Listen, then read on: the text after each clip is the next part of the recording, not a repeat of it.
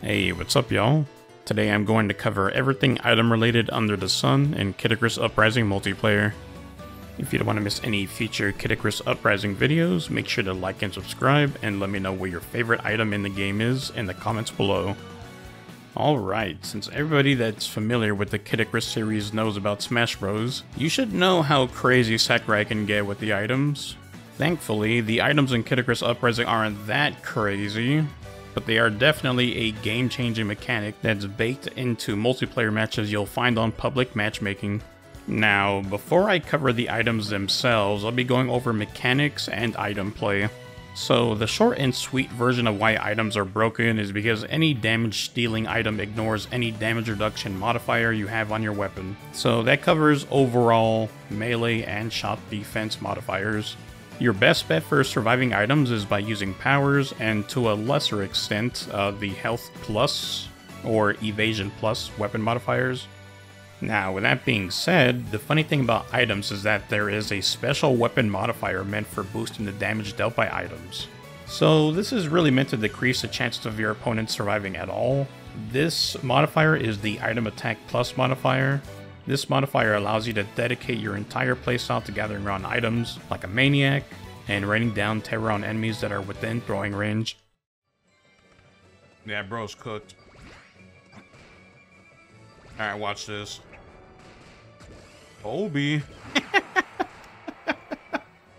this item playstyle is completely legitimate and always something to worry about, so with that being said, I'm going to briefly go over the item play specific powers that will go with this playstyle.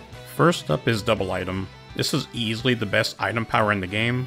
Any item that is picked up while this power is active will be doubled. This works differently depending on the type of item. Items that grant you buffs like speed boots will have their duration doubled, but for items that can be placed down or thrown, you'll be given two of these to ruin someone's day. Next up is Item Vacuum. This power when cast will pull an item in front of you. That's if there are any on the map when it's used. This is a perfect power to use if your weapon doesn't have the best movement speed. And lastly, there is Throwing Boost. This power increases the homing properties and distance that an item can be thrown.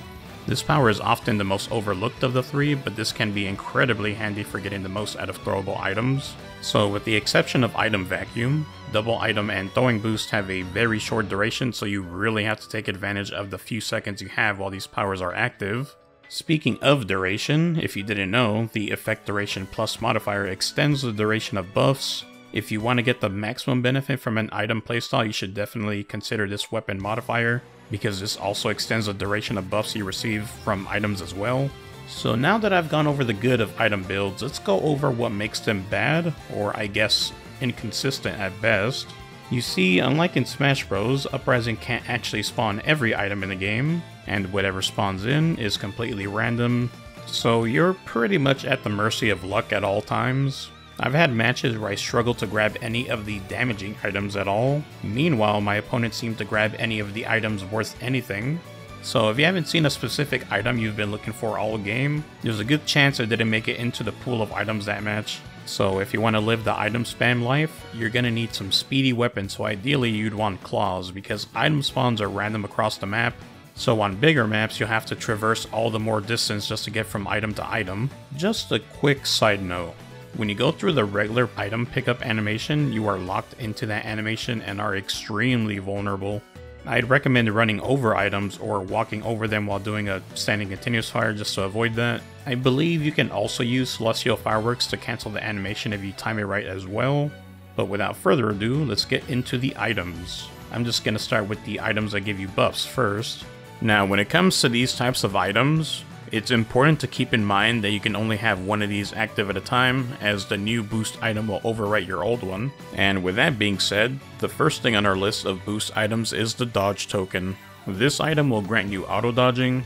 This item can be extremely handy or extremely dangerous to grab, and this largely depends on if your weapon has the evasion plus mod. You having or not having this modifier pretty much makes the difference between you being nearly invincible or easily frame trapped. Impact Amplifier. If you ever wanted the closest thing to Smash Bros, this item pretty much gives you that experience. When you pick this up, this amplifies the knockback your weapon deals. This item is a potential game ender on maps that have stage hazards like Lava Basin and Forgotten City. Even on maps that don't have stage hazards, this is an incredibly annoying item to have to deal with. Like for example, if you're trying to protect your angel, but you're getting thrown around like a ragdoll across the map, making it incredibly difficult too. That being said, this item is incredibly useless if your enemies are using powers that prevent knockback in the first place, like super armor. Shrinky Bean. As far as I'm aware, this item only makes your character smaller. This item is useless for the most part since 99% of the weapons in this game have homing properties. At best, you'll be harder to hit for the small pool of staves that don't have homing like the flintlock staff. Elemental cards. These will imbue your weapon with a status depending on which card you pick up. Freezing, Petrification, Paralysis, Burning, and Poison are the only statuses you can grab from these cards. Freezing is easily the best one out of all these, so definitely pick that one up. Happy Trigger, everyone's favorite item to pick up. This will reduce your charge time drastically. If you ever pair this item with Quick Charge, even clubs feel like machine guns. You can definitely pull off some crazy shenanigans with Happy Trigger, so definitely keep an eye out for that one. Speed Boots. These Timberlands will significantly increase your movement speed. This is always a fantastic item to pick up. You're granted infinite stamina as well, which is an absolute godsend for some of the slower weapons, like cannons, clubs, and staves. And finally, the power-up drop. This is easily the best buff type item in the game. While active, you're invulnerable as well as reflect back all shots that hit you. The hardest part about picking up this item is trying to get the most use out of it. Like, for example, if you're an angel and have this item, you have to make a tough call of playing aggressively and exposing your position, or just playing it safe and sitting back. Personally, if I notice I'm not in any immediate danger as the angel of the team, I'll wait till the last second to pick this item up just to get the most out of it. This definitely has its risks, but it's definitely not a bad idea to keep in mind. Before I move on to the next category of items, it's worth mentioning that the boost items can block critical information about your enemy. For some reason, these items take up the same slot that some powers use, so an extreme example would be trade-off, but a more common example would be energy charge. You could annoyingly end up in a bad situation if you weren't looking at the bottom screen before someone picked up one of these types of items. Let's quickly go over food before we head on into the next category of items. So for food, this is one of the only ways to heal in this game, so you'll want to take advantage of this whenever you have the chance. Even when you're at full health, you should still grab this food just to deny your opponents the chance of restoring health. And just a quick tip, you can use the double item power to double the healing of food. If you really wanted to get the most healing out of food, you would have to have the Recovery Effect Plus weapon modifier, which if you didn't know, boosts the healing you receive in general, but for the most part the investment isn't worth the return with this weapon modifier. Now let's move on to the stationary items. Gilded Bomb. This is easily the best item in this category. The Gilded Bomb explodes upon anything hitting it, and causes a massive explosion that is incredibly hard to escape. The hit stun you receive from this explosion will ensure that you can't escape it. The best way to get out of this is just using Warp, but I mean you could say that for about anything, but powers that grant knockback prevention can help you get out of this as well. Anyways, you can be sure that if you're trying your best to survive, this dumbass item can and will spawn right behind you, just in time for your enemy to get an easy KO on you. a second. Ah. God damn those gilded bombs. Next up is the rock bomb. This stationary item is incredibly hard to get any use out of. When it's shot, it explodes and releases shrapnel in a seemingly random direction. The damage isn't great, and this usually has a tendency to spawn in areas where people are very far away from, and on top of all that, it's incredibly short range as well, making this one of the most useless items in this game, in my opinion at least. Wow. Alright, well congratulations Tyler, uh, you're the first angel I've ever killed with that rock. Next up is the Mega Marble. Similar to the Rock Bomb, the Mega Marble explodes into pieces when hit, but the difference is that these marbles can travel a good distance with the ability to bounce off of walls. The bouncing mechanic can be incredibly dangerous if you ever pop one of these in a small room, like the ones you find in Starlight Observatory or Desert Tomb. In my experience, this usually spawns somewhere where you hardly get any value out of it, but that's just my bad luck. Anyways, next up are the assist items. You can only have one of these active at a time, so if you have one active already when you pick up another, it'll be replaced by the new assist item. Starting off, we have the Icy Aura. This item has ice orbit around you and freeze nearby enemies that touch it. This is great for both offense and defense. For example, if you're using a melee weapon, you can get a lot of damage in if you freeze mid-combo. On the flip side, if you're on the run, this can buy you a small break if you're up against melee, since your opponent can waste time by getting frozen. And just a quick tip, this is just a general thing, but if you think you're going to be afflicted with status, you can actually buffer powers like Effect Recovery, so you can break out of this status as soon as possible. Moving on, we have the Back Shield. Honestly, this item can be the bane of their existence if the person you were in the middle of fighting picks this up. This item blocks damage coming from behind obviously, but I've said this before, and I swear this item seemingly protects you from all directions whenever it feels like it. Moving on, we have the Spike Ball. When you pick up this item, a spike ball will orbit around you. This item can be surprisingly good at times, since this item can cancel out any enemy shots that come into contact with it, almost like a back shield that orbits you. This item can do some really good damage and can really punish melee users trying to get their hits in. This is pretty important to remember as you can stall melee users with the melee clash, as they get bonked repeatedly by this ball. The Spike Ball also deals knockback which can be lethal on maps with stage hazards like Lava Basin and Forgotten City. This is definitely one of those items that can be really funny with item attack plus since this thing will absolutely smash anything for heavy damage.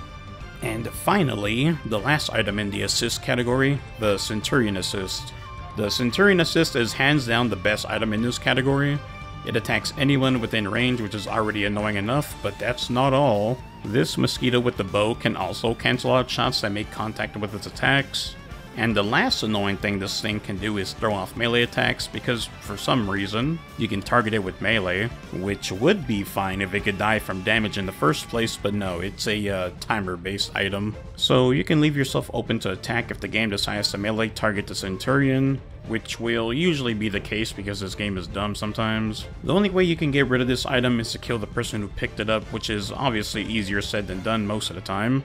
Let's move on to the next category of items, being the place down items. There aren't many of these, but you can get creative with these if you take the time to put them down in strategic areas. Starting off, we have the jump pad, Depending on what map you're on, you can use this item to reach places that take either a power to reach or take a while to get to. Here's some ideas of places you can easily reach with this item. First, the top of the Spiral Tower, the bottom floor of Desert Tomb to get an alternative route to the second floor, and the outside area of Starlight Observatory to get back up to the second floor without going around. It's worth mentioning you can use the jump pad to give someone a mini heart attack on maps have stage hazards. Get the fuck over here. Hell yes! Next up is the Giant Maker. When this item is placed on the ground and you step on it, it will make your character a lot bigger, but it will also boost your power as well. Personally, I find this more of a detriment because this also makes it easier for enemies to hit you in general. This can get really scary if you're up against players that are using staves. You can take advantage of this downside too if you place this mat down where you think your enemies will go through. Moving on, there aren't many items that dish out status ailments, but the Medusa head is easily one of the better ones. The Medusa head when placed down will target enemies with projectiles that inflict petrification, but you have to watch out because friendly fire is possible with this item. The projectiles do very minimal damage, but you can potentially set yourself up for an easy KO if you don't effect recover fast enough.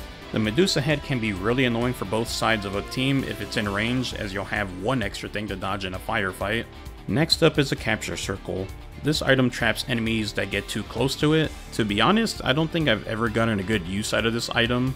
Not gonna lie, this item is kinda trash because while enemies can't move out of it until it breaks, they can still attack, dodge, and activate some powers.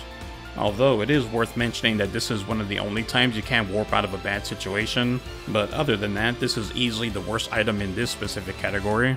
Moving on to the other trapping item in this category, the Chomp Trap. When enemies get trapped in this item, they'll be taken under the map and constantly receive damage until the Chomp Trap spits them out. But you can mash your buttons and circle pad to get out quicker. This version of trapping is way more effective in general just because enemies can't do anything except mash to get out. The cherry on top is that when the Chomp Trap spits enemies out, they'll be left open for a follow-up attack because it's impossible to detect your landing when spit out. To get the most out of the Chomp Trap, you need the item attack plus modifier for the extra damage. That being said, this item can deal the finishing blow, so just keep that one in mind.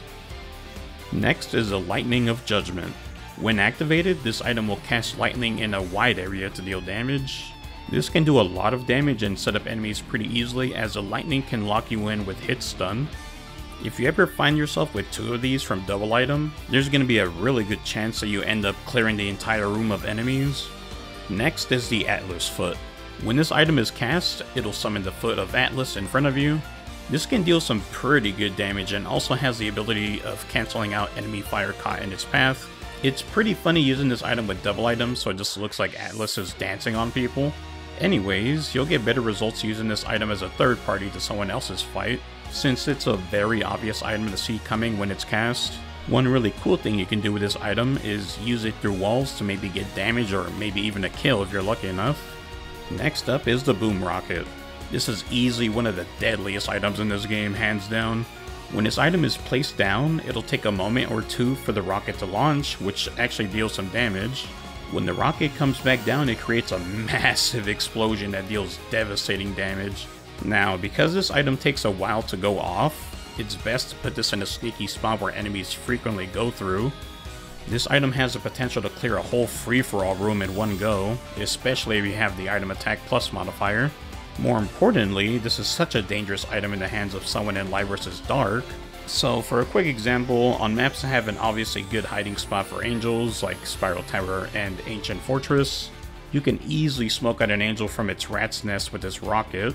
This also goes both ways as well, so as an angel you can put this on a spot you're hiding if you're expecting a fight to come to you, and potentially snag a free kill or two.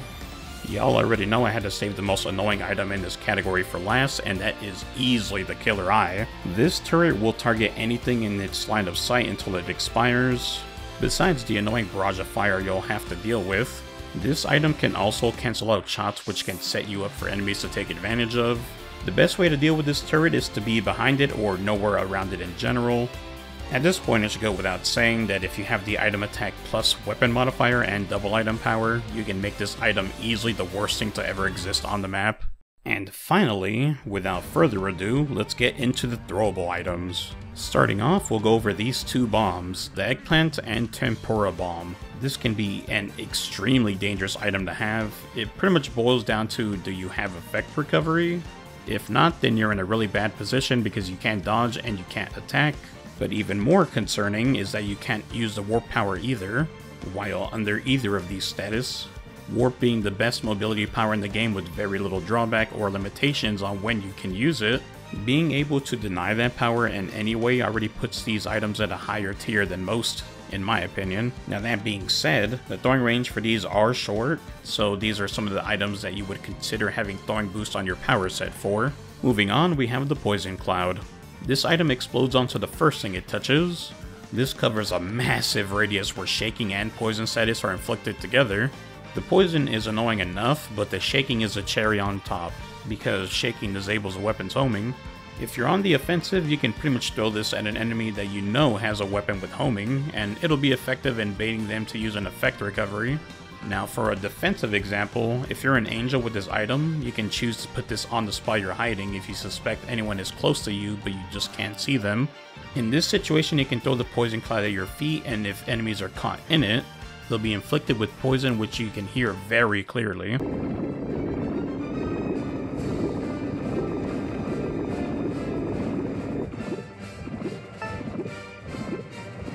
The cherry on top is that even if they cure the poison with effect recovery, if they stay in the poison for long enough, they can potentially get inflicted with it again, because this item lasts for a decent while. Next up, we have the Demon Vine.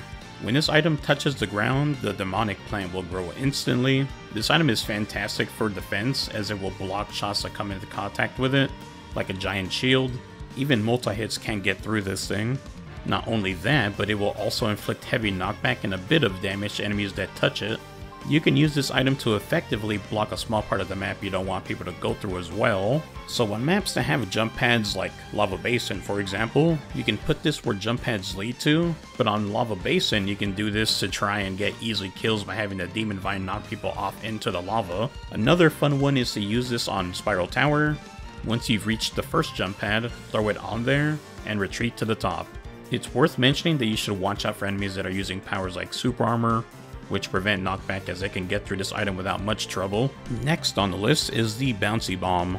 In my opinion, this is easily one of the weakest items of the throwable variety. When thrown, this item will bounce to whoever you threw it at and blow up when it either touches an enemy or after some time passes. The bouncing mechanic is what sabotages this item constantly. If you're throwing this item on anything but flat ground, there's a good chance this thing will lose its mind and fly off somewhere else and do nothing, at least from my experience. That being said, now that I've tried this with throwing boost, it works a lot better only because it's like a bootleg grenade that just flies to enemies.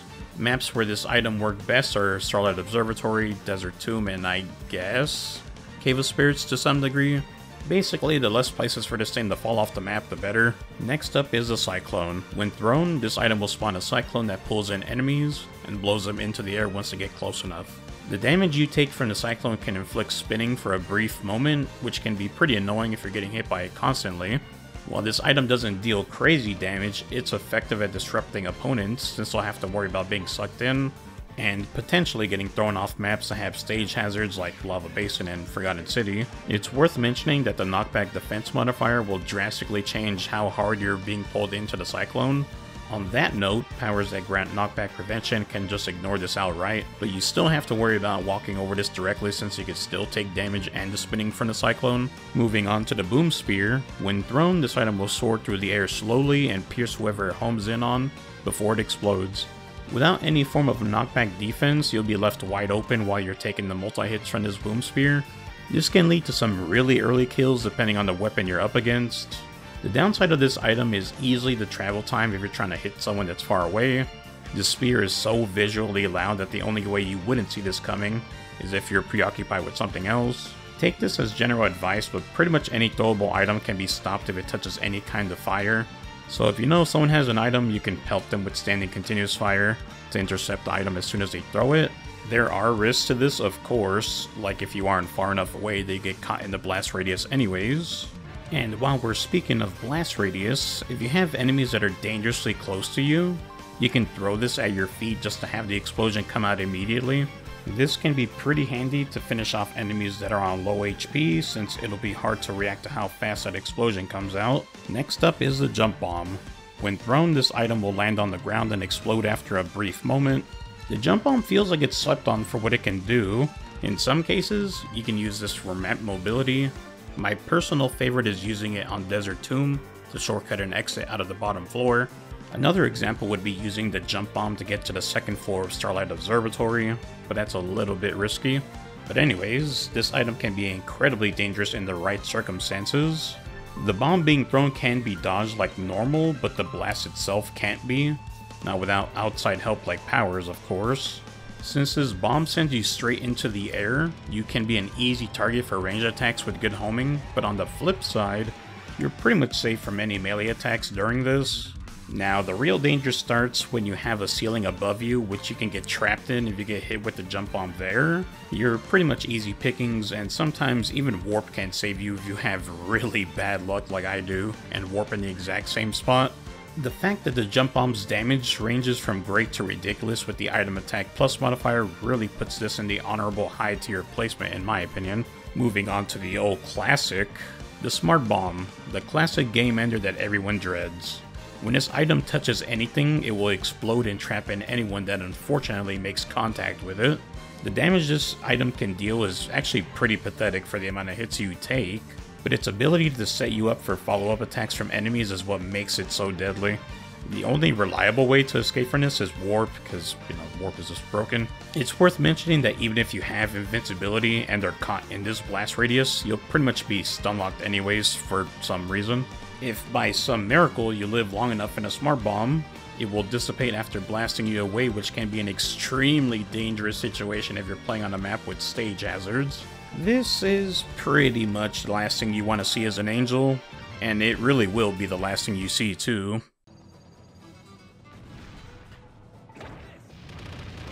Bruh, oh my god. what a nasty ass hit. Moving on to another classic, the grenade. Easily the most simplistic throwing item, just throw this as something you want to see blow up. Due to its travel speed, this is easily one of the hardest items to see coming, if you aren't aware of its presence on the map beforehand. The damage it deals is really good, and to top it off, the blast radius is really big. It's worth noting that the grenade itself and the blast radius can be dodged individually, so it isn't impossible to just dodge it head on. That being said, here's a little tip from me. Since a good chunk of walls are really thin on maps, you could potentially get some sneaky kills trying to hit people through walls with items that have similar blast radius like this in general. You can end up wasting some items like this for sure, but sometimes just thinking outside the box can save a game at the last second. And before we move on, you can also just throw the grenade at the floor if you just want to get rid of people that are on top of you as well. And finally, we're at the last item for the throwable category, the X-Bomb. Anyone that's played the multiplayer enough can tell you the horror stories of seeing this item. This is the apex of item damage. When the X-Bomb is thrown, it'll take a brief moment to explode into four pieces that all do a lot of damage. The more pieces you eat, the more dead you become. This item has staying power as well because the individual pieces can last a while before disappearing, so on maps that have a lot of walls like Desert Tomb, you have to really make sure that you don't accidentally run back into a piece. This item can also cancel out enemy fire as well. Interestingly enough, the X-Bomb can be cancelled out in its entirety as well, but that takes a lot of risk in timing with the specific weapon. But uh, moving along, the X-Bomb is capable of one-shotting an angel unfortunate enough to get caught by all four pieces at once, and that's without item attack. The worst thing about this item is the fact that you have to deal with the pressure of it existing throughout the match unlike Daybreak which is one and done. And speaking of Daybreak, this is our last item in the game, and it's the easiest one to tell if it's in a match because you'll get this big ass warning across the middle of your screen. There are three pieces to collect before you can fire the Daybreak, and when it's complete, it will unleash a powerful blast in whichever direction you aim at when fired. For some reason, the Daybreak isn't boosted by the item attack plus weapon modifier. Weirdly enough, an angel using Daybreak seems to deal more damage with it than a fighter, but anyways, when firing the Daybreak, you'll be completely invincible until the Daybreak falls apart. This end lag animation is where you are extremely vulnerable to attack because you can't even warp out of this. So you have to keep this in mind whenever you decide to fire off the Daybreak, as it can result in you getting killed by people prepared to dodge it with powers. Sometimes when I get this item and the match is really intense, I'll just opt to fire it behind walls, where I know enemies aren't around to shoot at me, just so I can get rid of it instead of risking it all on that one blast. Also, if you didn't know, it's actually possible to cancel the Daybreak animation. As much as I'd love this to be a really useful tech, it's really just a cool party trick that's tricky to pull off. You pretty much just use an attack at the last second possible before touching a jump pad to go up, it's kind of cool that it also sets off the daybreak noise for other people as well, so it might just beta reaction to use a power, but that's just me trying to make this seem good. It's also possible to do this with Warp, but I, for the life of me, cannot get it to work like once. So instead of releasing the video three years from now when I actually get it down, you'll just have to settle for these failed attempts. But moving on, since I already covered some item tech in the past, which you can find in my video I did on that like a year ago, I'm gonna take a second to show you this other cool thing you can do with items. Now, because tossing an item like normal has some long animation that is highly punishable, you can use Celestial Firework and similar powers to gain invincibility frames during this tossing animation. This is actually pretty simple to do, it's not that bad of an input. You basically just use your power slightly before you go for the attack button. If done correctly, your character will glow blue during this animation, which tells you that you have iframes. And if you do this wrong, you'll either use the power first, or do a regular toss followed by a power activation. And that pretty much wraps up this video. I just want to say that compiling the clips for this video was such a massive pain in the ass due to RNG. But if I ever find any more stuff about items, I'll make sure to make a mini follow-up to this video in the future. But anyways, happy late 12th anniversary to Kid Icarus Uprising. We still have another 13 years to go before we get that remake we've all been waiting for. The unfortunate thing is that this will be the last anniversary under the official Nintendo Network servers. So with that being said, this won't be the end for Kid Icarus Uprising multiplayer after April 8th, since Pretendo Network will allow us to continue playing on multiplayer, so you don't have to worry about that. But anyways, that'll wrap things up for this video, so I'll be seeing you in the next one. Peace. I swear, cannon and bow is just like so bad. This is just fucking embarrassing. How am I not dead? Can you fucking kill? oh, watch out. I'm darkness again.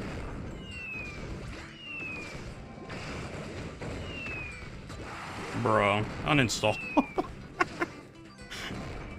Why am I getting these? You guys are trash.